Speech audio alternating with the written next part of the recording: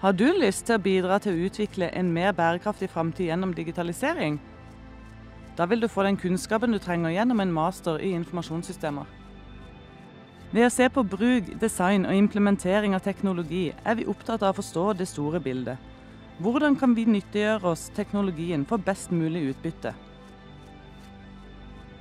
Du vil oppnå en forståelse for det komplekse samspillet mellom sosiale, organisatoriske og teknologiske faktorer ved innføring og bruk av informasjonssystemer.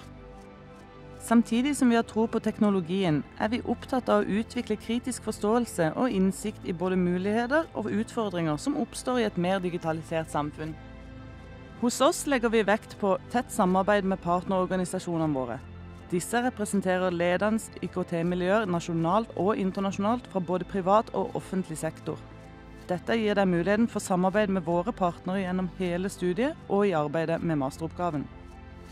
Kandidatundersøkelsen viser at alle våre kandidater er i jobb etter seks måneder. Vi oppfordrer våre studenter til å dra på utveksling og ha tett samarbeid med universiteter i Australia, Irland, Tyskland og USA. Har du lyst til å være en som bidrar til å utvikle framtidens samfunn ved hjelp av teknologi? I så fall så ser vi fram til å møte deg her på UiA.